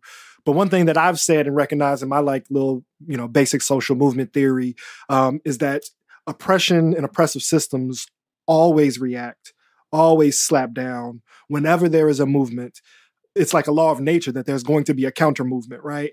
And that's the thing that I feel people miss about the MAGA phenomenon is that they see it as this independent, disgruntled white working class just like responding abstractly to economic conditions. But those economic conditions were there the whole time. It was this reassertion of dominance because black people started naming the harm, right? And that was taken as an offense and a sacrifice they were not willing to make, right? Like historically, throughout the however many centuries, like right, white folks in this land make it almost illegal to be held accountable for violence against black bodies. And even sorry to cut you up, I just No, want to assert that you know MAGA it, it begins with Reconstruction. That at any time that there's been an effort to right the wrongs of this country, um, you know, and, and to in any small way even uh, recognize what chattel slavery and Jim Crow have done, um, there has been pushback, right? And so that the fact that this moderate you know, liberal, the only black man who could have been elected the first president, right? Right. like it was not going to be Malcolm X. And I think that history will, you know, reflect the complication of the Obama presidency and pop culture figure and black man, right? That is deeply complicated. But that was the one that it was it was not going to happen in any other way. And the first black woman in that office was not going to be anyone other than someone who is herself deeply complicated, like Kamala Harris, but just simply that level of participation, you know what I mean, And the American experiment was a threat to Yeah. people, right? So that Yeah. assertion of dominance is is also in response to not just us naming the harm and saying, you know, we're taking it to the streets again, or we're, you know, we're calling things out, we're going to be visible on TV. It's like you let a black man have the top job. Right, right. And then when he had a top job, these nappy headed niggas started burning shit down, right? Like, Yep. th- then they started complaining on top of having the, the, the White House, then they started complaining. And I think people forget the timeline of even his bid for the Republican nomination is in a post Ferguson Black Lives Matter context, right? So Mhm. this this transition from this, you know, still large in number, but this like Tea Party context, which if we're being honest, it was like important in terms of Congress, but really was ragtag on like a popular level. and was funded by like Koch brothers, actual- right? Yeah, like Yeah. it was just an astroturf response Yeah, thing. yeah. Not that there weren't people participating in earnest, but But that's that's where the seeds. It was an mm-hmm. Obama backlash, but it was really after the the uprising that then they started packing out stadiums and started like beating up people in the audience and having these red ha- hats and having these like death center chants. And so, right, it's not an independent movement; it is a counter movement, and it often doesn't get named as that enough until what we saw on the Capitol of like, oh, this is not pro police, this is not pro constitution. This is pro dominance of marginalized and oppressed people. And also one one thing, sorry, one more thing I just want to point out that I haven't thought about in this context before until we've had this conversation, that the two people who were most uh viciously until the squad is introduced, that the two people who were most viciously attacked were a black man and a white woman, right? Barack Obama and Hillary Clinton, who for all of the ways that they do not represent radical left politics in any way, shape, or form. You know, and the- it would have been nice if they had. it would have been If they're gonna take all that beef, Yeah. you you know, gotta take. could You at might have. least- You might as well. I mean, looking back on it, you know, that's what I thought the book was gonna say. Um, like I, I thought it was gonna be. Well, if you were gonna do this, I should have just, you know, took my shirt off and just squared up. But like, I, uh, you know, metaphorically speaking, but that I think it's interesting what it means to be a black woman, right? To have watched this. That's why I like that was my chief reason for like when Kamala Harris announced her presidency. I was like, I'm not doing this with y'all, you know, because I'm like, I know how much you hate me. Yeah. 'Cause look how much you hate the if you hate white women. It's kind of like you know there were these fake perfume. I think they probably still sell some at Walgreens. Like if you love CK one, you'll love TK two, right? And so it's kind of like if I know you hate black men and I know you hate white women, just you wait. I'm not really thinking that y'all are gonna embrace this. And I'm not really, you know, into, you know, regardless of how my feelings about her and, and some of her past work may be deeply complicated, right? Like I said complicated. I, I, I'm saying antagonist, I'm being clear to say complicated. Because I know how much everybody hates black women, it wasn't just about what's the right going to do. Are they going to burn the country down if a black woman is elected president? Are they just going to start shooting black women in the street? It's the left is going to do the same thing. They're going to immediately, in ways that they you know, yes, we've got practice, we've got language we didn't have when Obama was running. That was a progressive moment in ways that it is not to us now.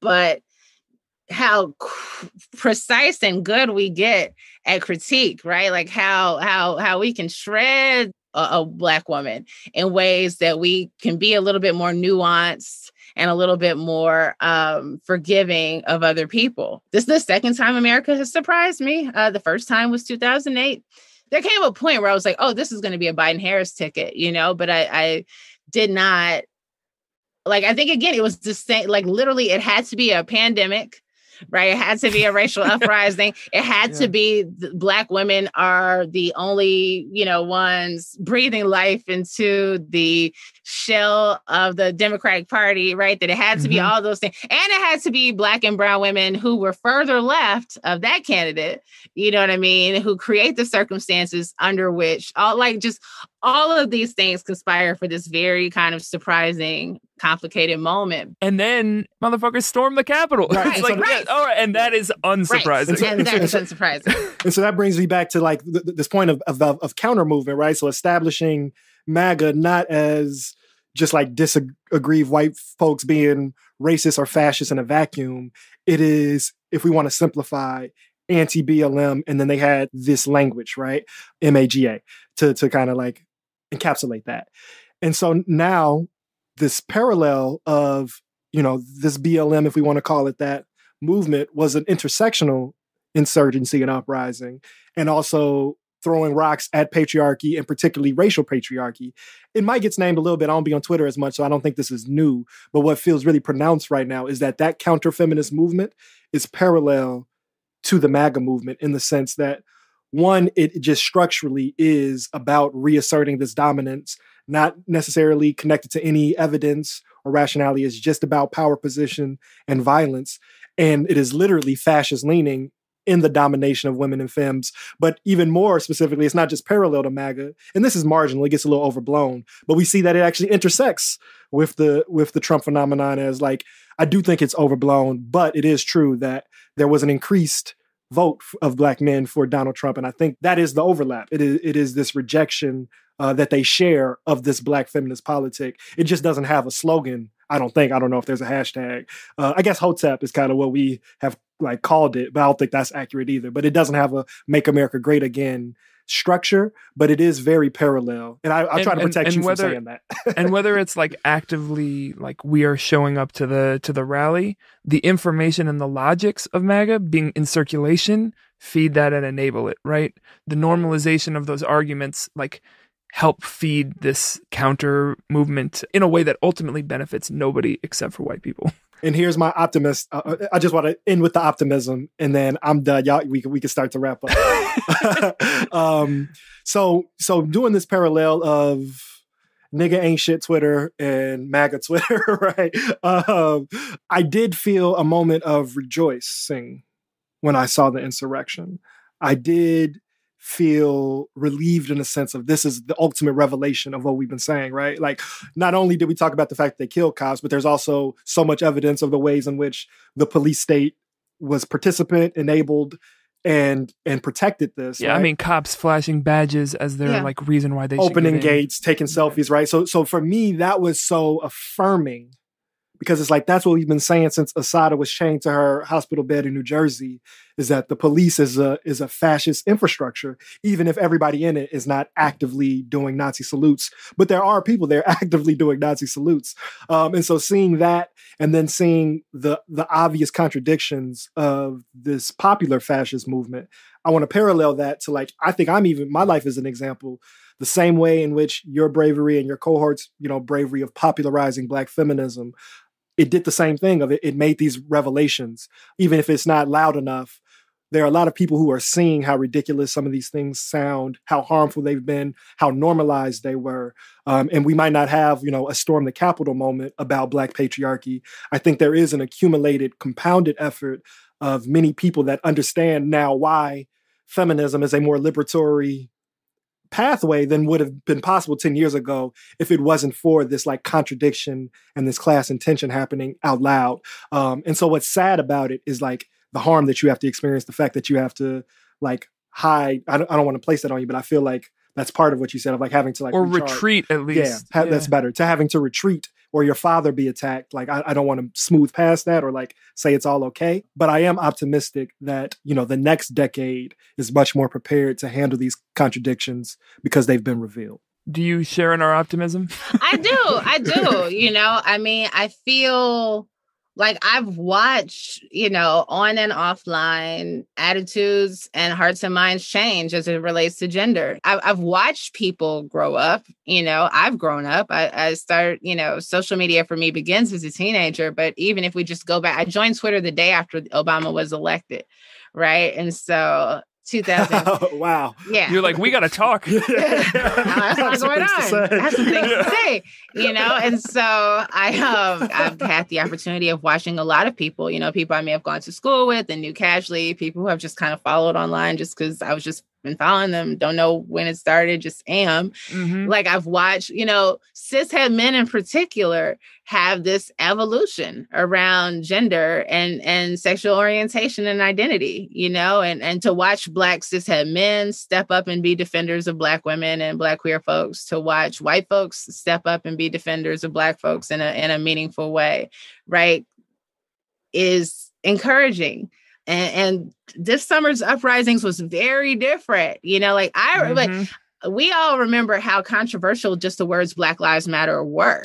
You know, like that that was a thing like that had to be debated. Like Black Lives Matter or All Lives Matter, which one is it? You know, like what's the appropriate thing to say? What does this mean? literal fights in the street. Literal fights in the street. You're right. People who were at the same protests. Yeah, I remember being in protests where you know it, they we're chanting Black Lives Matter, and then someone switches it to All Lives Matter. I remember the first time that it happened, and I kind of like switched up to All Lives. I was like, wait, no, you know, because like why do what you know? Because in my head, I'm thinking, okay, you want to make sure that we're you know including Latinx people and Indigenous people. Okay, that sounds well intentioned until you're like. No, we need to talk about black people shit. This is our turn. This is the whole point that we're talking about that specifically, right? This And is why I came outside. so I came outside. you know, I will come outside for you too. We can you can have a day. Nobody's Yeah. stopping you from having a day. We're gonna come out on your day. You know, today's our day that we planned. Um, I'm general in the house. I'm specific when I'm outside. I'm specific. That's a very good way of putting it. I stepped out. I'm specific. I'm here for a reason. You know, I wore Oh, these that's shoes because I knew we was gonna be walking. I didn't wear Um, all shoes. Right. I didn't wear. I didn't bring I wore these heels and flip flops and boots. I wore sneakers. These are Some- some are- particular shoes. no, but um, but yeah, like there's a sense of optimism. There's a sense of the number of white folks in the street. You know, like I think back to that time in Ferguson. I think back to some of the you know the the movements and, and marches and, and gatherings and protests that took place across the world. That they've been diverse, but this was the first time that you could see a lot of protests where black people were not there you know and because of the pandemic i felt very confident saying like look um, maybe we don't need to be here you know like maybe we can't all like w- this thing is hitting us hard. Like very quickly we it went from haha black people can't get it to like oh shit you know like we are getting it and we are not. And so yeah maybe somebody else needs to you know put themselves on the line. And also regardless of i don't care if it's 90 degree you know or if it's 75 and sunny or or you know storming we have lined these streets with blood fighting for our freedom. Someone else has to, it, it can't be us alone. And it can't just be a handful of allies. Like this is white folks' business at this point. You know, like mm. we maybe need to set the terms for like what does freedom and liberation look like? What do we want? What are we owed? But the discussion over whether we get it or not is you know a, a conversation between our demands and the people who are hearing them right? And so the people who are hearing them fall into you know a number of factions. They're the people who are decidedly resistant.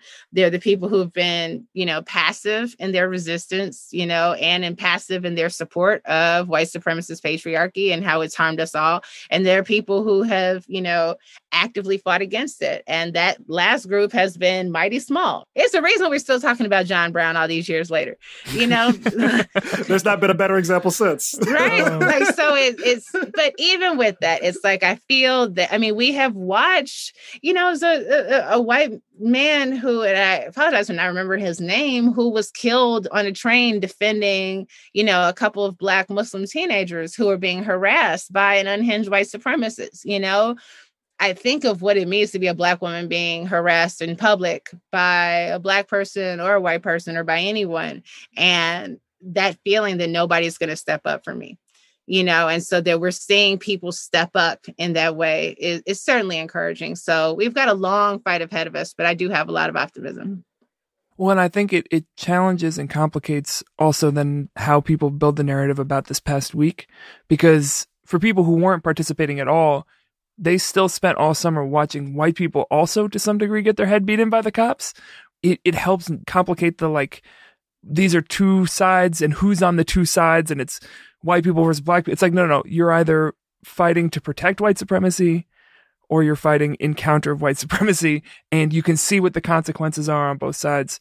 Um, not that they're enacted equally, but I, I think that that what happens when more people step in is that the like false narratives get easier and easier to challenge because yep. the evidence counters that. Yeah. Um, Think about this Ashli Babbitt being the first person to die in that insurrection, right? Like, as a symbol of how white women have always been willing to put their bodies on the line in, in defense right. of white supremacy and have largely escaped. You know, we talk about uh, white supremacy as the man, right? The man. Right. The man is trying to get you. The man is holding me down. The white man that uh, white women have largely escaped true accountability for how they have supported and sustained and benefited from white supremacist patriarchy. So we talk about them over indexing in, you know, are not over indexing, but like being the majority of the folks who uh, receive food stamp and, um, you know, benefits that we call welfare right? And benefits from affirmative action. Also. I was gonna say an affirmative like action, right? Like, but that these have not been foot soldiers to protect those movements. In fact, they have worked against you know like there's a stick that we're all measuring our life outcomes by that none of us you know outside of white cis cishet you know able-bodied very small group of white men gets to enjoy, right? All of the privileges and all of the rights and all the freedoms. And the group that was right there, you know, coming in second somehow has imagined itself as the primary victim of sexism and while also being the, this foot soldier for something that, you know, like Dave Chappelle says, you might not have liked the, the hand you were dealt, but you participated, right? And so I think that white people needed to see everybody needs to see that, right? The participation of white women, but too, like white people needed to get their asses beat by the police. White people needed to see that police represented their safety so they could pretend that the dog whistle or that the underlying message is that black people being free makes you unsafe, right? Black people being able to come to your communities, come to your job, come to your kids' school makes you unsafe. So you need police to be armed and dangerous and ready to protect you from them. And then the truth of policing being that one, they are there to protect the property they are there to protect the interests of uh, those that are the wealthiest.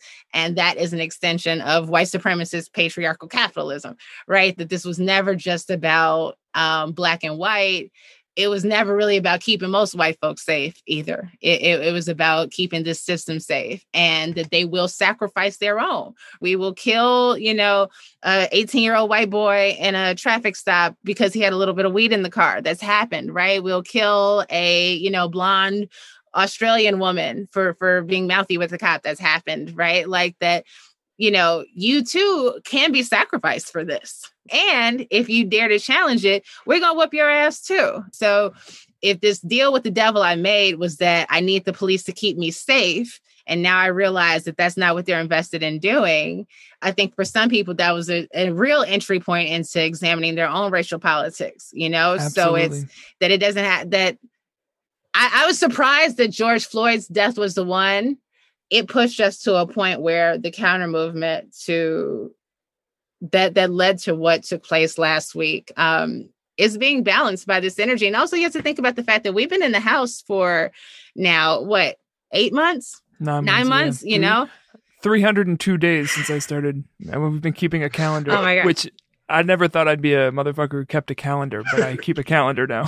I mean, 302 days. And so, and in that time, um, a lot of us have turned toward our spiritual practices, you know, have turned back toward kind of understanding what, you know, where we want to fall in the social order, what our values were. Like we've had time to sit and think about these things.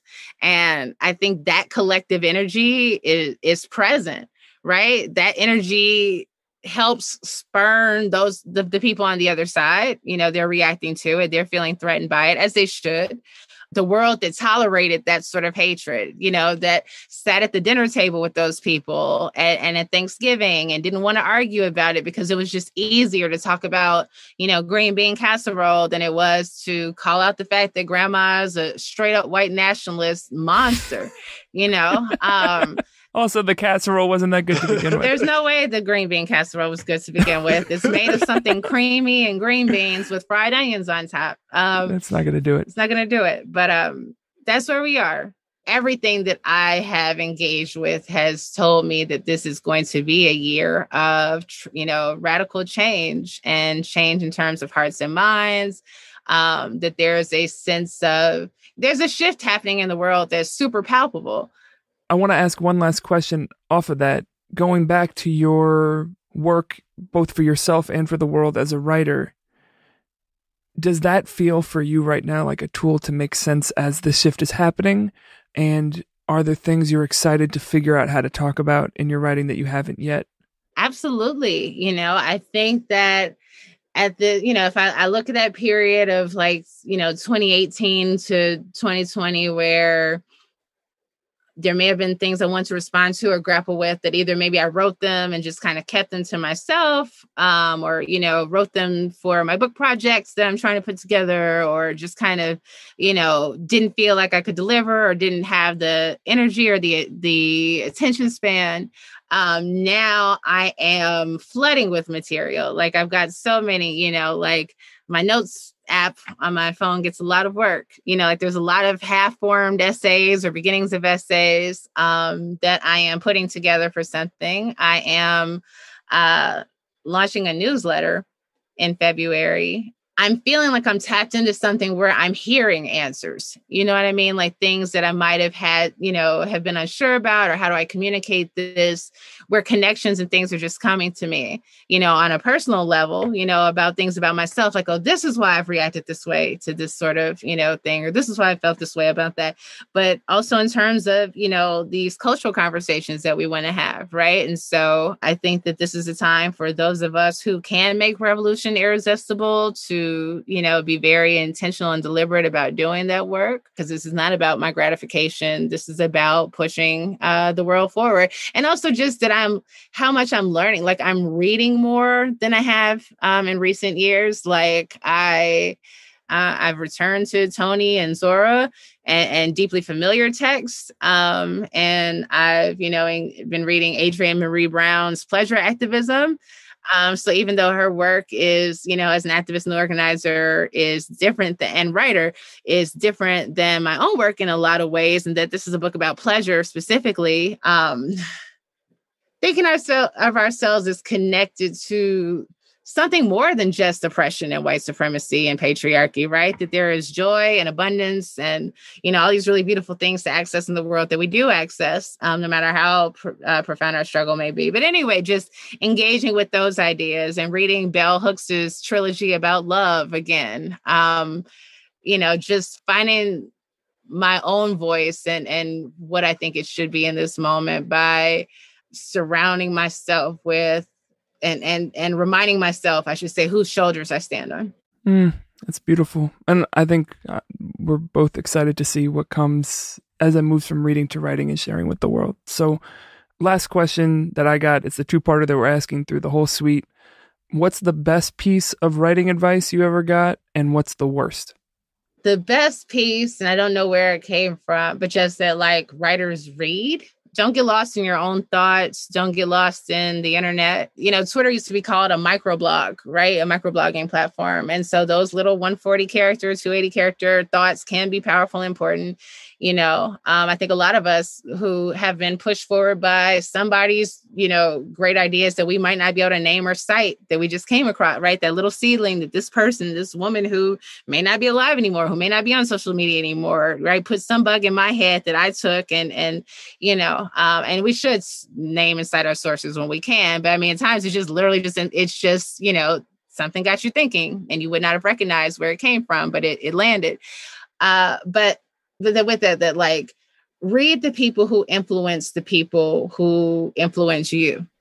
Mm-hmm. Right. So I can't just read bell hooks. I have to read who bell hooks read, you know. Um, I think that our generation struggles with genealogy. Understanding your genealogy as a writer like who do you come from? I i do feel that i am a descendant of zora neale hurston in certain ways even though our writing is very different and our racial politics are very different you know but i feel connected to her in this way. And so in in me taking the time to uh, not just explore her writing, but the things that she read um, and, and, the writers who've been deeply influenced by her. Uh, as far as the worst advice, I'd say it's the best advice and the worst advice all in one. I think Dream Hampton is the first person who I've heard say writers write.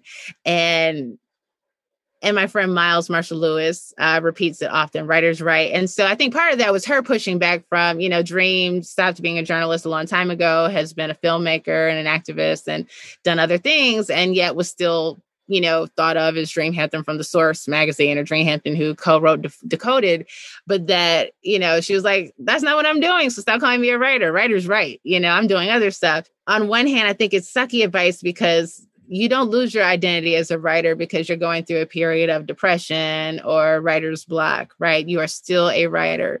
Um, but having the courage to just put down a sentence is really important. So if you're to, if you're not in a place where you can write an essay, or if you're someone who's written books and right now there's no book in you, if you typically write songs, you can't get a song out, you know, writing down a line, you know, writing a poem, just, you know, taking that little step to get back to your writer self um, I think is one of the most important things that you can do. Mm. I wrote in my head every day for a long time. You know, I have all these great ideas. I'm going to write that down. I'm going to write that down. I'm going to write that down. And I did not feel okay until I got myself back to a place where I was going to actually do that. And it's like, well, what got you there? A big part of it was just simply writing the stuff down. It's taking that first step, you know? Um, some people hate writing and love having written um, I'm in the middle. I don't dis I, I hate getting started, but the best thing you can do for yourself as a writer is to write. One thing that I've done, um, I keep post-its and uh, note cards all over my house like in every room in my house now i have you know something to so that way if the moment if if there's a fleeting inspiration if there's a thought i write it down you know i don't lose it but just however you can capture those thoughts when they hit you because they hit you right? Like you may have writer's block you might not be inspired but there there's some there's a line there's you know an image there's something you see there's something you feel as a writer that is wanting to come out let it out.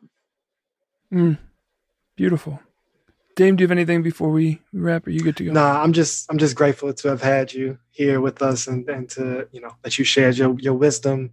Shout out to you as as part of the extended tribe. I feel a shout out to your pops again. Shout out to your daughter. Uh, so yeah, I'm just, I'm just offering you love and, and appreciation for, for, spending time with us. Well, I, how can go ahead?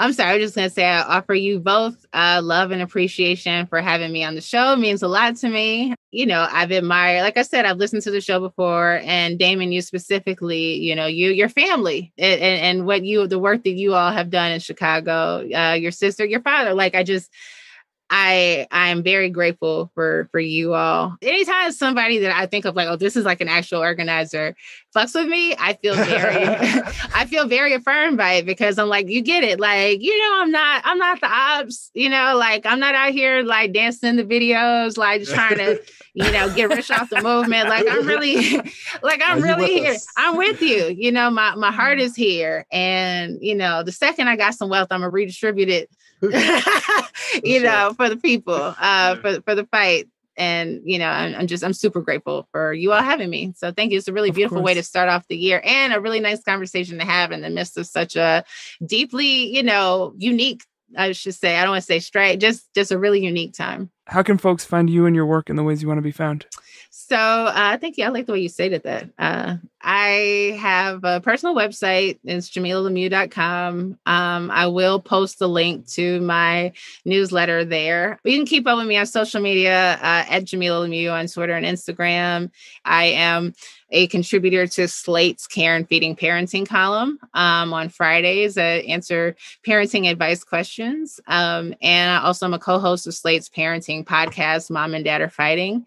And I have a Slate Live show um, that is relaunching in uh, February. I was doing one on Thursday nights called The Kids Were Asleep, but we're coming back with a new name, new time, um, February 16th. So yeah, I guess I would just say just follow me on social media and I will begrudgingly share things there. I also have to work on I hate pro like the beginning of my career is like I have to share every link. I must beg people to click mm-hmm. on this or else, you know, my writing does not exist. And now it's like I'm apologizing, like, hi guys, I'm so sorry I did something. I hope you'll look at it. Please forgive me.